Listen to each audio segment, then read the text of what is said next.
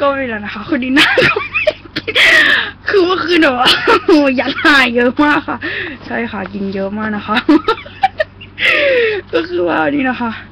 นี่คือไหมขัดฟันนะคะแบบกล่องราคา49บเก้าบาท อ่า แล้วก็แกะออกมา ที่ที่เซเว่นมีด้วย ไอข้าวโพดคลุกเนยแล้วฉันก็กิน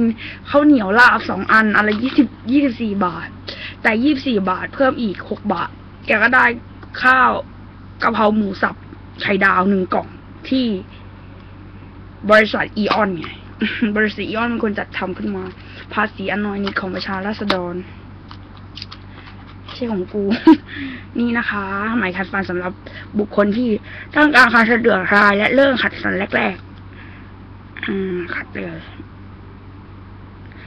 หาพูดกันตรงๆเลยนะ ว่าจัดฟันเนี่ย จัดฟันเนี่ยทำให้แกสวยไหมไม่ใช่นะ เข้าใจผิดแล้วนะ หมอฟันจริง ๆ ไม่ได้ชอบคนที่ฟันเรียงสวยงามนะ คือฉันไม่สู้ฉันไม่ทราบหรอกแต่ถ้าฉันเป็นคนหนึ่งที่แบบว่า สามารถที่จะเรียนหมอได้อะฉันจะชอบคนที่สะอาดนะ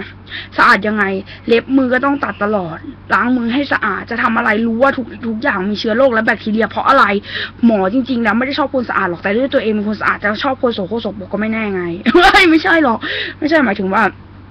แกเข้าใจปะเรื่องของเรื่องคืออย่างฟันอย่างเงี้ยแกก็แค่ไอ้ตามซอกฟันแกก็ทำความสะอาดให้มันสะอาดซะแล้ว แปรงฟันบ่อยๆ กินข้าวปั๊บแปรงกินข้าวหลังกินข้าวก็แปรงแค่นี้อาจจะเป็นหาอะไร เพราะอะไรรู้ปะเพราะฉันเป็นคนหนึ่งที่พอนอนดมปากตัวเองแล้วเฮ้ยถ้ามีกลิ่นแล้วหงุดหงิด เพราะฉะนั้นแล้วถ้าไม่แปรงฟันใช่ปะถ้าไม่ไม่ติดเศษซอกฟันก็ใช้น้ำยาบ้วนปาก เวลากินขนม ก็ใช้น้ำยาบ้วนปากแทนก็จะสดชื่น แล้วจะติดน้ำยาบ้วนปาก เข้าใจปะคะ